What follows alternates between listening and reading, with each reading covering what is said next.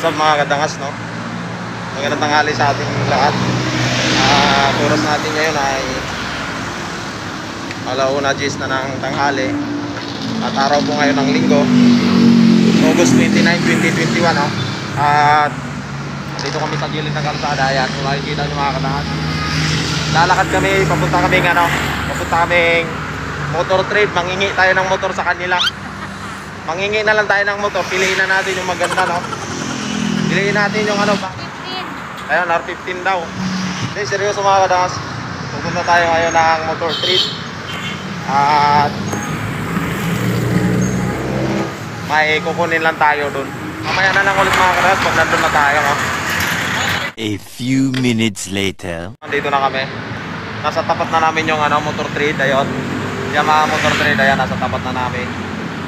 At may inaantay lang kami saglit mga kadangas. Maya maya pupunta na tayo dyan. So mamaya na lang ulit mga kadangas no? 2,000 years later. So ayun mga kadangas no? Inabot na tayo ng hapon.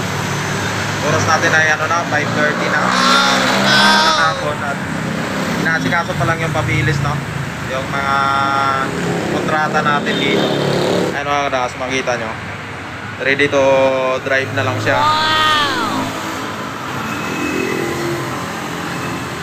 Ito na yung bago nating riding body mga kadangas. At papangalanan po natin siya ng baby fitted. So, mamaya na lang ulit mga kadangas, no? Baka siguro makauwi kami nito mga 6.30 na. Update na lang namin kayo mamaya mga kadangas pag pauwi na kami.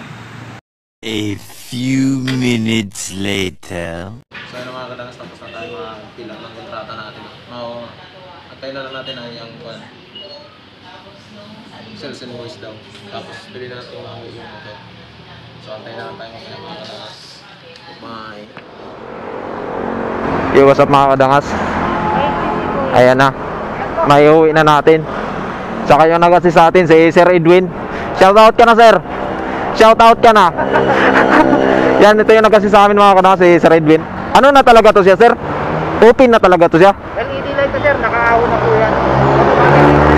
Automatic talaga siya? Ah, sige. Sige, sir. Thank you.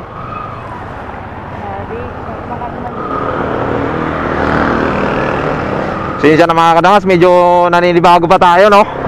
Woo! Oo.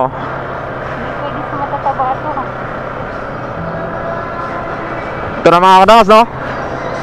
Na... Wala akong masabi. Woo! May uwi na natin yung pangarap nating motor. Dati pangarap ko lang to, ngayon nagkatotoo na.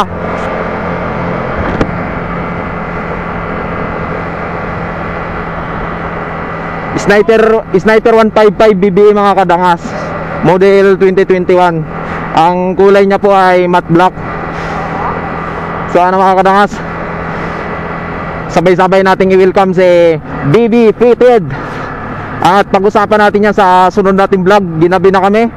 Ang oras ngayon ay alas 5.55, mag alas 6 na. At kami ay may pupuntahan pa mga kadangas, no? Ayos, thank you Lord, thank you. Woohoo! Woohoo! Celebrate! Celebrate! Thank you Lord sa wakas. Lord, hindi na masakit yung pwes ko. Sa wakas. Ito yung motor ko na magiging kabady ko sa araw-araw ng ano, hanap buhay natin.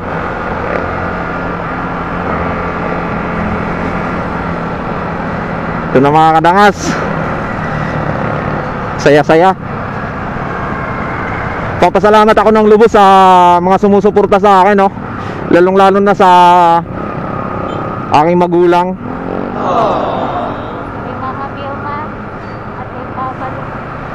Sa aking mga magulang mga kadangas at sa aking may bahay yung nasa aking likod yan. Backride ayan ako nakikita nyo side mirror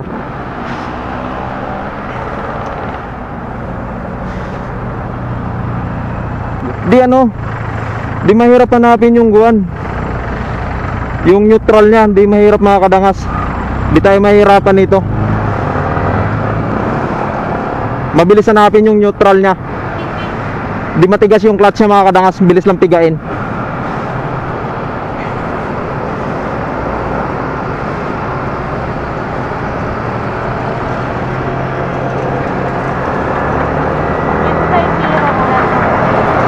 Side mirror niya, ang lawak, napakalaki. Kahit na hindi ka nalilingon mga kadangas, no?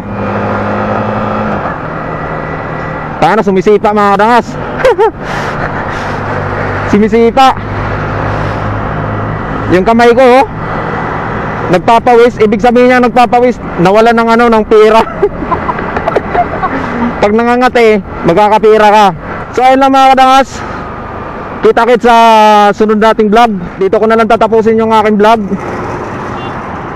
Tuloy-tuloy na tayo mga kadangas no. Hindi na tayo pa putol-putol sa ating pagbablog. Gawa ng ito lang naman yung inantay ko eh.